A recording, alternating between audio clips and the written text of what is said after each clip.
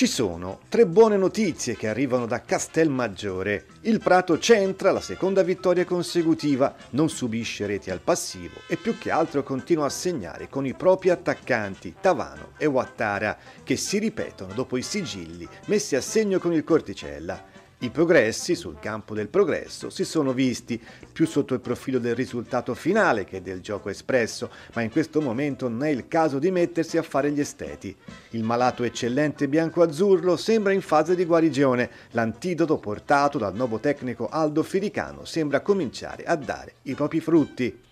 È stata una partita, come mi immaginavo, sofferta, siamo stati bravi a capire che in alcuni campi bisogna soffrire, per poi tentare di mh, mm, esaltare quelle che sono le nostre qualità e oggi da questo punto di vista è stata una partita buona perché abbiamo sofferto quando c'era da soffrire e abbiamo risolto qualche situazione buona che abbiamo creato quando si doveva fare.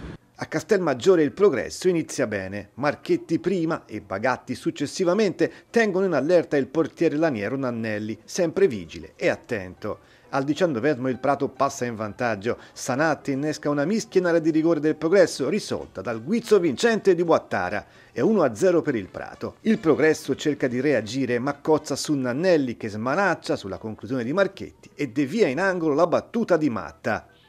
Nel secondo tempo il Prato continua a gestire il vantaggio conseguito. Ferrarese fa venire i brividi a Nannelli che in qualche modo respinge. Il Prato chiude i conti al settantesimo, Wattara spizza di testa e Tavano completa la festa laniera segnando la seconda rete bianco-azzurra.